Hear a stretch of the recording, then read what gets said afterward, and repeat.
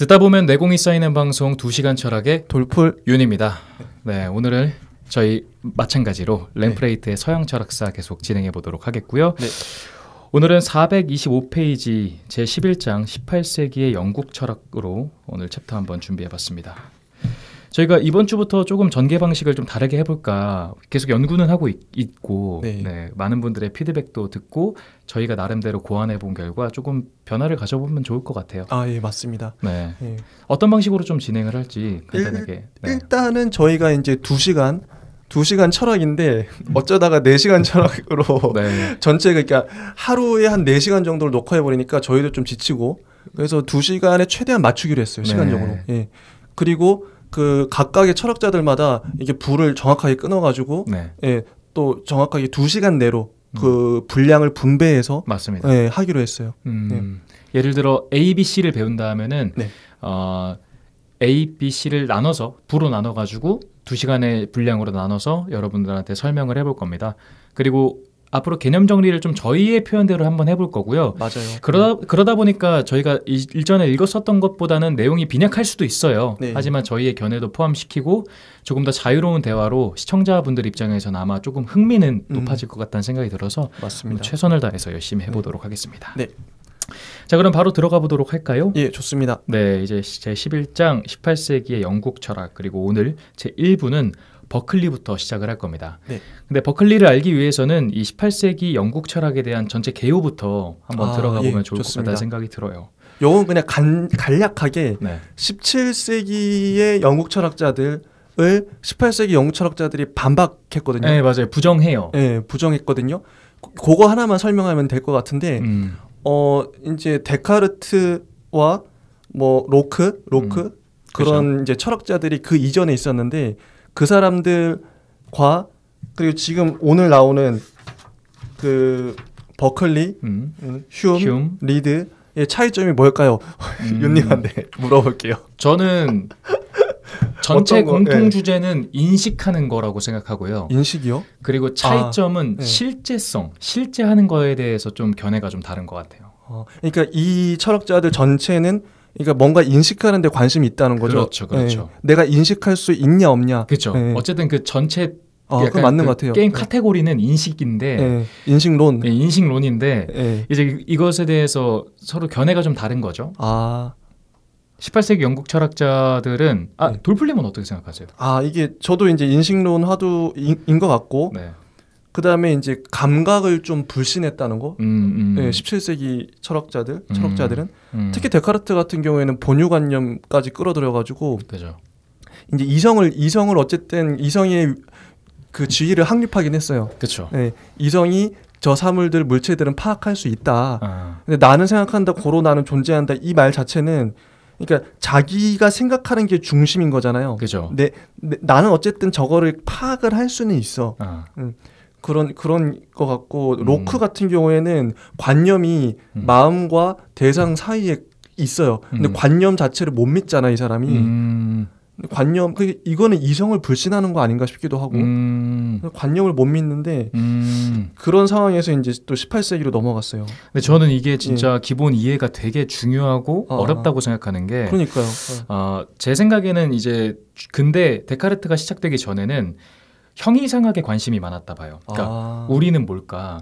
이, 이, 이 세상은 뭘로 되어 있을까? 하나님이 만들었을까? 뭘까? 약간 이런 고민들. 예. 근데 이제 데카르트를 기점으로 해서는 우리가 인식하는 거, 그러니까 음. 진리가 뭘까? 우리는 어디까지 닿을 수 있을까? 음, 우리 인간은 어떻게 알 수 있을까? 이런 것들에 관심을 좀 가졌다 봐요. 맞아요. 근데 데카르트는 그거를 이성으로서, 그러니까 아주 쉽게 생각하면은 음. 사유하면 사유. 사유하면 진리에 깨달을 수 있어. 약간 이런 주의였다고 생각을 해요. 음, 아, 어, 뭐 경험 필요 없고 아, 사유만 하면 돼. 아, 그 자, 자기는 그러니까 사물도 필요 없고 뭐 다 필요 없고 그냥 사유만 할 수 있으면 되네요. 그렇죠. 아. 그리고 또 중요한 점은 그 네. 데카르트의 제일 핵심 중에 하나가 네, 그 결과적으로 네. 본유관념이었잖아요. 맞아요, 맞아요. 근데 그 본유관념이라는 거는 전편 보시면 알 겁니다. 그 예, 예전편 예, 예, 예. 신을 증명하기 위해서 또 수단으로 썼어요. 음. 근데 여기서 또 핵심은 저는 그렇게 봐요. 데카르트는 사유하면은 알아서 세상의 이치랑 모든 걸 깨달을 수 있다라고 전제했다면 네. 결과적으로 우린 경험하지 않아도 된다잖아요. 음. 즉 하얀색 스케치북이 있을 때 이 사람은 굳이 그리지 않아도 우리는 그림을 그릴 수가 있다. 사유만 해도. 그러네요. 예. 막 나무를 보지 않아도 음. 사유하면 그릴 수 있는 거다. 아, 예. 약간 이런 중점자라고 봐요. 음, 예. 근데 이제 그 다음에 경험론자의 대표적인 로크 같은 경우에는 예, 예. 어, 우- 이 백지를 채우기 위해서는 지식이 필요하다. 음, 근데 이 지식을 우리는 관념, 관념이라고 지칭한다. 그러니까 인식하는 거에서요. 예. 관념이다. 근데 이 관념이 실제는 아니다. 음. 되게 어렵잖아요, 여기가. 예. 그래서 관념이라는 건 실제가 아니어서 이건 우리의 약간 이미지다. 음. 그래서 약간 나중에 포기하잖아요. 네. 아, 결과적으로 우리는 실제를 알 수는 없다. 그러니까 로크한테는 알 수 있는 게 없는 거죠. 그렇죠. 따지면. 관념을 못 믿으니까. 그렇죠. 그렇죠. 되게 그래서 이 사람은 되게 절망적으로 빠졌던 것 같아요. 그렇죠. 예. 그러니까 아 이게 이, 이 시대적 상황을 이해하는 게 진짜 중요한 것 같아요. 아. 지금은 과학적 사고 방식이 우리가 다 탑재가 되어 있기 때문에 네. 어, 저거 너무 당연한 소리거든요. 음. 그리고 왜 이렇게 저렇게밖에 생각을 못하지라고 할 텐데 왜 저희가 저번에 뉴턴이 나왔을까 생각을 해보면 아, 예. 예. 뉴턴과 갈릴레이는 기계론적인 사고 방식을 가져왔다고 봐요. 아. 그러니까 이 만물은 수학으로 이루어져 있다. 아, 예. 수학, 수학. 이 세상은 수학으로 이루어져 있어서 수적 개념, 그 기계적인 측면으로 해석이 가능하다라고 하니까 네. 이제 철학자들이 좀 탐구하기 시작했다고 봐요. 음. 아 진짜 이 세상이 수로 이루어져 있나? 그럼 우리가 뭔가를 인식하는 관념은 뭐야? 이게 실체야 아니면은 우리의 그냥 허상이야? 이것들 이게 되게 중요했다고 보고 음.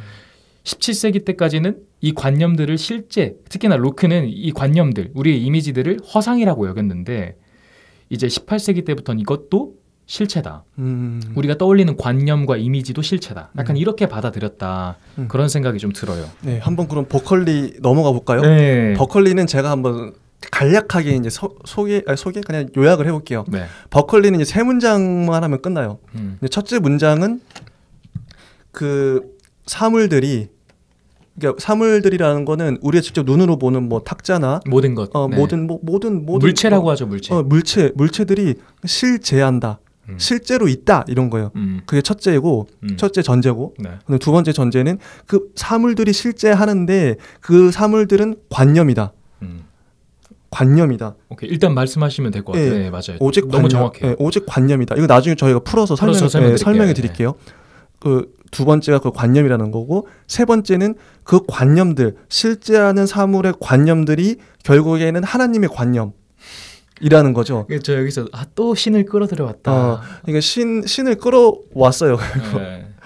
이 말은 뭐냐면은 결국 우리는 그러면 전 그 생각이 들더라고. 하나님의 머릿 속에 있는 건가 다? 어, 그러니까 그걸 또 끌어오긴 한 것 같아요. 예, 예, 뭐좀뭐 각자의 견해긴 하겠지만 그렇죠. 네. 예. 이거에 대해서 그럼 저희가 나름대로 한번 해석을 해볼까요? 이게 아, 예. 진짜 제일 주, 사실 이거를 논증하기 위해서 예, 계속 어, 자신의 신- 이론을 밝히죠. 어, 예, 엄청 길게 막, 막 논, 논- 논을 하더라고요. 네 맞아요. 이게 그러니까 버클리가 일단 첫째 문장부터 한번 들어가 볼게요. 네. 어, 실제 론을 얘기할 수밖에 없었던 이유. 음, 그러니까 우리가 음. 이 물질에 대해서 음. 물질이 실제한다. 음. 우리가 물질을 지각하잖아요. 물질을 딱 볼 수 있잖아요. 그냥 네. 딴거 떠나죠. 볼 수 있다. 음. 볼수 있는 물질은 실제하는 거다. 실제 맞아요. 존재하는 거다라는 맞아요, 거죠. 맞아요, 맞아요. 근데 그, 그 실제하는 게 이게 그 이전의 철학자들에 대한 반발로 이런 주장을 펼친 거예요. 이 사람은 네. 그 이전의 사람들은 뭐 데카르트 같은 경우에 연장 실체, 음. 로크는 그것이 무엇인지 내가 알지 못하는 어떤 것 해가지고 그런 음. 식으로 얘기를 했, 했단 말이죠. 음. 근데 그게 아, 아니라 음. 그러니까 이- 이게 이런 거에 대해서 이제 버컬리는 환, 환상적인 이론이다. 음. 그러니까 허구적인 이론이다 이렇게 얘기를 해요. 음. 추측에 의해서 음. 그러니까 데카르트와 로코가 말한 거는 어떤 거냐면 우리, 우리 사물들이 있는데 음. 그 사물들을 우리가 사물들의 실체가 있어요. 네. 그러니까 그 사물들의 실체는 자기도 몰라. 어떤 인간도 모르는데 어쨌든 있긴 있대. 이런 주장이잖아요. 그러니까 이 개념 자체가 조금 헷갈리게 되는 거예요. 네, 네. 사물들의 실체가 있다? 이게 뭔 말이야? 약간 이렇게 되는 근데 거예요. 이게 따지고 보면 되게 웃기는 게 네. 버클리 말이 진짜 공감이 가는 게 아니 실체가 있긴 있는데 인간이 파악을 못 해요. 음. 로크도 그렇고 그 있긴 있어. 근데 관념이 파악을 못 해. 음. 그럼 너네들은 도대체 그게 이론이냐? 음. 이런 식으로 반박을 하는 거예요. 음. 근데 그 실제가 있는데 그게 감각으로 우리의 감, 감각 기관으로 음. 우리의 뭐 시각이라든지 촉각 뭐 이런 청각으로 그 시, 사물의 실체를 온, 우리가 온전히 파악할 수 있다는 거예요. 볼 수 있는데. 네, 볼수 있는 거예요. 그냥 그 버클리의 네. 이, 이론으로 따르면. 그렇죠. 네. 근데 그 이전의 철학자들은 아니야 우리 우리의 시각과 뭐 청각 이런 것들이 미처 감지하지 못하는 어떤 사물의 본질적인 실체가 있을 거야 음. 이런 식으로 가정을 해버렸다는 그렇죠, 거죠. 그렇죠. 지금 생각해보면 되게 당연히 상식적인 게 버클리 입장인데 음, 그땐 그랬어요. 맞아요. 그래서 첫 첫째 그 문장 문장 전제가 되게 중요한 거예요. 음, 모든 사물들은 실제 하는데 그걸 감각 기관으로 밝힐 수 있다. 음, 예. 그런 식으로 반박을 한 거죠. 음. 그, 전, 그 전에. 음, 그리고 두 번째 명제가 나와요. 오직 마음 속에만 그 관념들이 있다. 음, 아, 이, 이 부분, 이 부분이, 그러니까 마음 속에만 관념이 있다는 거. 음, 그러니까 실제, 그러니까 버클리 입장은 뭐냐면 지금 우리가 보이는 책상이나 물병이나 음. 이런 것들이 실제, 실제로 있긴 있는데 관념, 관념, 마음 안에만 있다는 거죠. 어, 그죠. 맞 맞긴 맞아요. 예, 관념 안에 우리가 인식을 하니까 저, 저 쟤네들을 음, 그러면 저는 또 질문이 스스로 질, 질문이 되더라고요.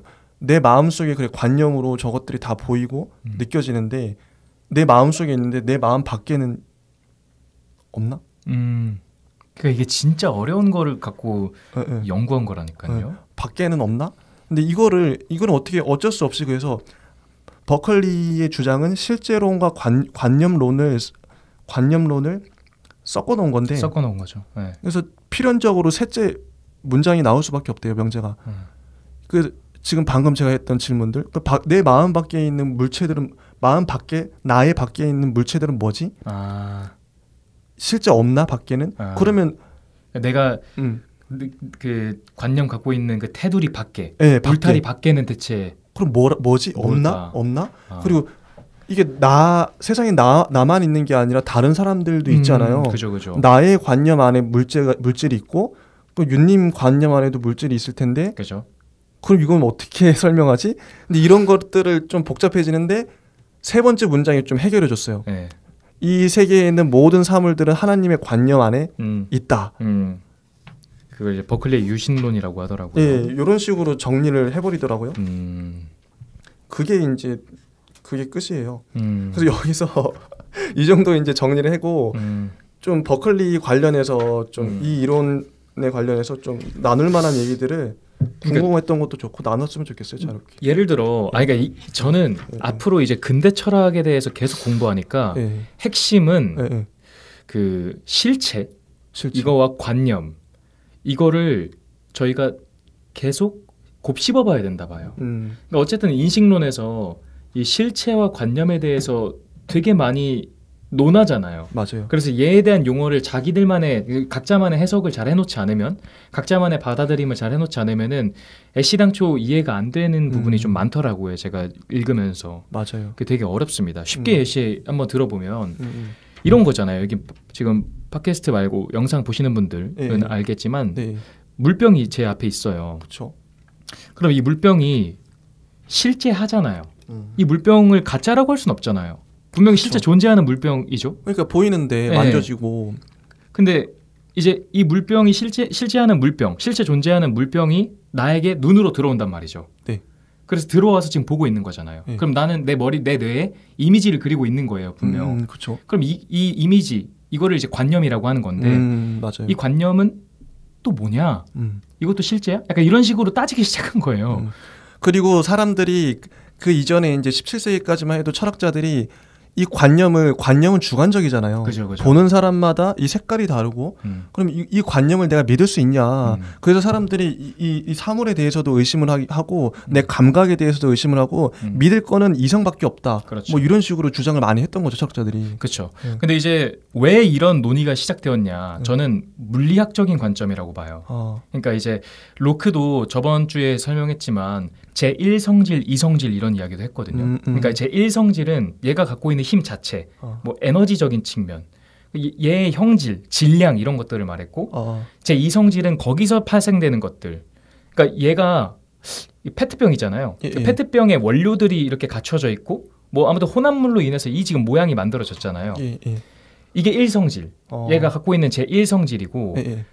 약간 분자적인 측면이죠. 어. 제 2성질은 뭐 하얀색 측면도 지금 보이고 파란색 디자인도 보이고 아 색깔. 예, 약간 색깔 음. 그리고 약간 어 세- 정말 말 그대로 색깔, 빛깔 이런 음, 정도. 빛깔. 음. 예, 그리고 맛을 음미할 수 있고 음, 뭐 이런 것들이요. 이성질은 주관적인 건가요? 그러면 약간 주관성을 띠고 있죠. 일성질은 좀 객관성에 가까운 객관적인 것. 근데 이거를 왜 논의하기 어렵냐면 네. 이 사람들 사고 방식으로 해서 좀 어려운 거고 제가 음. 보기에는 네, 이 사람들이 지금 물리학적인 지금 현대 과학이 없다 보니까 이렇게 고생하는 것 같아요. 맞아요. 제가. 예. 저도 그 포인트 느꼈는데 음. 지금 현대 과학이 발달했기 때문에 이 철학자들의 논의가 별로 쓰- 쓰잘데기 없는 게 되게 많더라고요. 맞아요, 맞아요. 우리는 그 논의를 초월해 있는 거예요 이미. 그죠, 그죠. 예. 예. 만약에 이 사람들이 로크나 뭐 데카르트가 지금 현대에 나타났으면 이런 논의를 안 하죠. 굳이 할 필요가 없는 거예요. 음. 아니 사물은 뭐 다 과학적으로 증명이 돼 있는데 음. 데이터가 있고, 음. 그러니까 누가 의심하겠어요? 그죠. 예.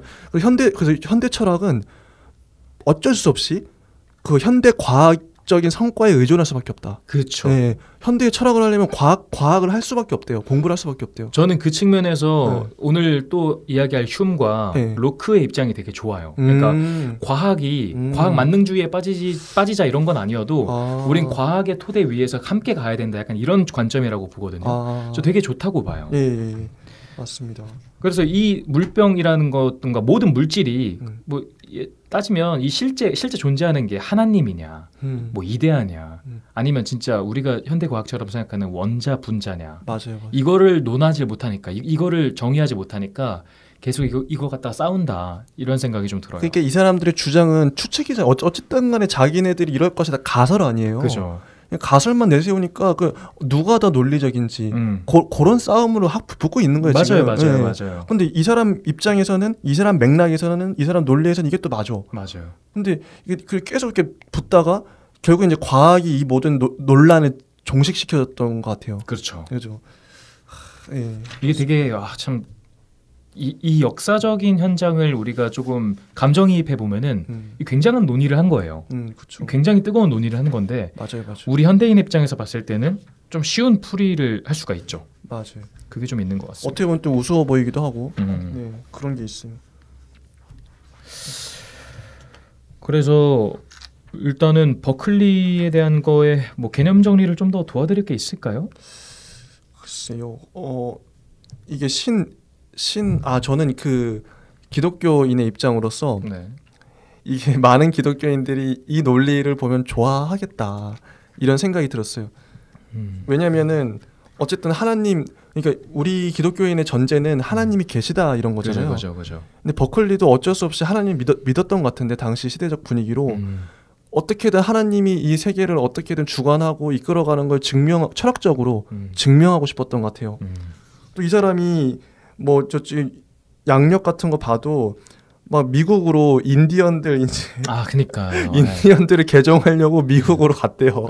갔다가 원래는 자기 혼자만 생각했던 건데 영국 정부의 지원을 받을 수 있다고. 네. 근데 정부 지원은 안 들어오고 그래서 3년 만에 철수했잖아요. 네. 그 정도로 어쨌든 신실한 네. 신앙이 투철한 사람이 철학자 이, 이 철학자로 됐는데 네. 어쨌든 하나님을 자기처럼 끌어와가지고 하나님이 어떻게 세계를 지, 지배하고 다스리고 있는지 음. 그런 관계들을 막 설명하는데 음. 그러니까 버클리 철학에 의하면 어 음, 인간이 세계를 그 우리 감각기관으로 온전히 파악할 수 있어요. 음. 그리고 세계를 파악하는 게 결국엔 어떤 거냐면 하나님의 관념을 그죠. 파악하는 거예요. 그죠, 그죠. 그러니까 이런 철학을 갖고 있는 사람은 세계를 막 그러니까 자기 막 허- 상상이나 허구에 빠지지 않고 세계 자체를 파악하는 것 자체가 신앙이 투철한 음. 행위가 되는 거예요. 음. 그, 사, 그 세계를 막 아, 이런 마음을 갖고 있으면 되게 살만 나겠다. 음. 세계를 막 경험하는 거. 저, 아, 저희 꽃들을 꽃들이나 어떤 자연을 관찰하는 게 결국 하나님의 관념을 파악하는 거고 음. 세계를 더 내가 세계를 파악하는 대로 내가 세계를 받아들이는 거잖아요. 감각을 인정했으니까. 그죠. 어, 이런 철학은 그래서 뭐 그게 맞고 틀리고를 떠나서 되게 좀 건, 건강한 아. 그런 사람은 되게 좀 살아갈 활력이 나겠다 아. 그런 생각이 들더라고요. 아. 네. 지금 말씀 들어보니까 저는 딱 그 책 읽으면서 떠올랐던 게 약간 버클리랑 데카르트랑 어, 예. 방식은 달라도 예. 목적은 같았다 약간 이런 생각이 들어요. 데카르트도 신을 끌어왔잖아요. 그렇죠. 근데 네. 둘이 뭐가 다르냐면 네. 오늘 그 흉도 마찬가지인데 네. 그 버클리랑 휴메의 공통점이 뭘까 봐보면 어. 약간 어 그 엘리트적인 측면을 그렇게 좋아하지 않았을 것 같다 이런 아, 생각이 들어요. 아, 그래요? 뭔 말이냐면 오. 그러니까 이 사람들이 원래 엘리트냐 아니냐 그런 걸 떠나서 데카르트는 신을 조- 신이 존재한다. 그리고 그 신에 도달하기 위해선 우리의 이성의 과정들을 최고까지 올려놓으면 네. 닿을 수 있다 이렇게 생각을 했잖아요. 본유관념으로. 번역관념으로. 음. 근데 버클리 입장은 굉장히 간단해요. 신은 존재한다. 음, 음. 그리고 아무리 철학적으로 공부를 열심히 한 사유를 열심히 한 사람이 아니어도 이 눈앞에 있는 물병 볼 수 있지. 음. 이거 실제 하는 거야. 음, 그러니까요. 관념 얻을 수 있지. 맞아요, 맞아요. 관념 맞아. 이것도 음. 실제 하는 거야. 음. 이거 그리고 하나님의 세상에서 이루어질 수 있는 거야. 즉 너가 열심히 이성을 닦지 않아도 음. 너는 실제를 증명할 수 있는 거야. 아, 맞네. 이성을 닦, 닦는다는 거는 좀 뭐랄까 사유에 훈련을 할 수 있는 그 그렇죠. 런좀 부유하고 뭐 뭔가 좀 교육받은 사람들. 그러니까 정말 천재던가 아. 그 직업인들만 할 수 있는 영역 같이 만들고 그럼 엘리트 엘리트잖아요. 그렇게. 약간 되면. 그렇죠. 음. 근데 버클리는 그래서 그러잖아요. 야 우리 여기서 나오는 게 종교가 학문에 도움이 될 거다 이런 말을 해요. 맞아요, 맞아요. 그죠, 그죠. 맞아요. 종교가 학문에 도움이 될 거다. 학문을 좀 더 유용하고 음. 간략하게도 하고 음. 요령 있게 해줄 거야. 근데 이 말 자체는 보편성이잖아요. 맞아요. 그래서 하- 약간 둘의 그 범위가 좀 다른 것 같아요. 음. 데카르트는 약간 굉장히 그 천재적인 음. 소수적인 측면인 거고 버클리는 이걸 굉장히 다수적인 측면으로 보편성을 한- 하는 것도 있고. 맞아요. 와, 그런 부분 음. 맞는 것 같습니다. 버클리는 뭐 요, 정, 요 정도 할까요? 어, 개념 정리로. 어, 아, 이제 다 끝난 것 같은데. 아 벌써요? 아니 뭐 이제 뭐 저희 몇분 했죠? 아니 뭐 우리 우리 파, 뭐 짜증 나갑니다 우리. 아 예, 맞습니다, 예, 예, 맞습니다. 저희가 이제 굳이 이, 네. 이 캐릭터들에게 예. 연연하지 않아요. 네, 연연하지 않고 그동안 너무 좀 질척거렸어요 저희가. 네, 뭐 예. 시간 남으면 뭐딴 네. 이야기 또 하고 아, 예, 그렇습니다. 뭐 하면 되지 않겠습니까? 그동안 저희가 이제 좀 책을 줄친 거 다 읽느라고 시간이 오래 걸렸거든요. 맞아요, 맞아요. 근데 사실 너무 오래 걸렸거든요. 아 그런 이야기는 좀 좋을 것 같아요. 어떤 얘기? 그이 이 램프레이트 책은 네. 한 번 읽어서 안 되는 책인 것 같아요. 그건 맞아요. 진짜 공감하죠. 진짜 이해가 안 가요. 진짜 이해 자체가 안 가요. 아, 제가 버클리 읽었을 때랑 휴움 읽었을 때 진짜 공감 가는 게 첫 번째 읽었을 때 진짜 이해가 안 돼서 맞아요. 아 나 큰일 났다 이번 이번에. 항상 매주 그런 생각을 해요. 근데 이게 두 번 세 번째 읽으면은 아 이게 이 말이었구나 네. 이런 걸 좀좀 느끼기는 네. 해요. 무조건 그냥 난해하기만 한 건 아니라 그래도 잘 쓰긴 잘 쓰여진 책인 것 같아요. 음 맞아요. 음. 저는 되게 재밌게 읽고 있고 맞아요. 여러분들한테도 도움이 될 것 같고요. 예.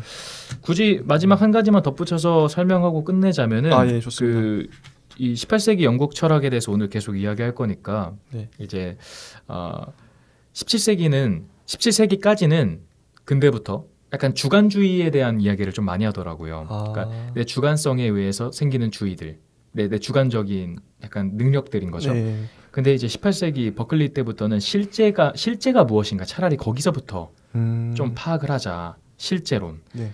그리고 이런 말이 나오는데 그 경험과 자연의 분리 이런 말이 나와요. 아 맞아요, 맞아요. 경험과 자연. 근데 여기서의 자연은 실제거든요. 음, 그러니까 이런 것들을 하나하나 곱씹어가면서 좀 이해해봐야 될 것 같아요. 음, 경험과 자연을 분리한다. 맞아요.